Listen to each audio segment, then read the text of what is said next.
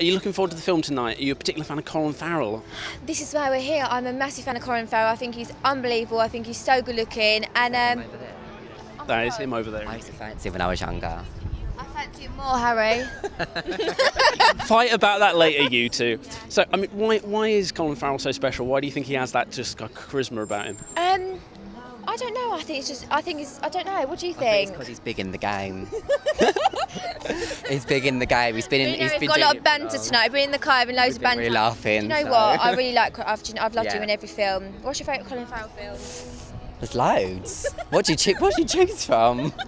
I've really put you on the spot. What's your favourite film? Um, what is my favourite film? when we get in the. Sorry. I'm going to save both of you.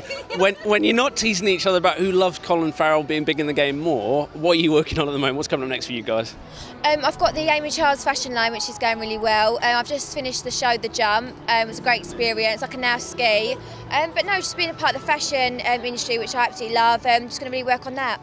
Really love the jump. It was a great way to get excited for the, the Winter Olympics. How scary was it though? Because I mean, it's, it's pretty dangerous stuff. You can really hurt yourself doing that kind of stuff. Um, I done skeleton, I done bobsleigh, which was absolutely unbelievable. Um, it was really scary. I couldn't believe what I was doing. Even skeleton going like 80 miles per hour, like on a bit of thin ice on a.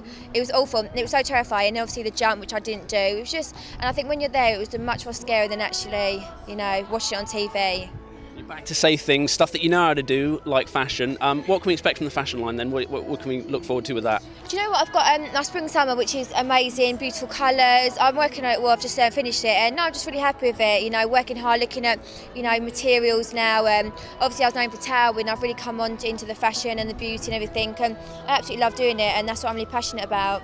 Of course, I mean, the Essex look divides a lot of opinion. Um, do you think the girls of Essex know how to dress right? I mean, Definitely, I think the Essex girls. I think they dress amazing, uh, classy. You know, I think, um, yeah, I think so. Definitely. Well, we're going to say that because I'm obviously from Essex, but I always, you know, I always try and dress nice, and I like my high street shops, like my designer. So I do vary from fashion to fashion.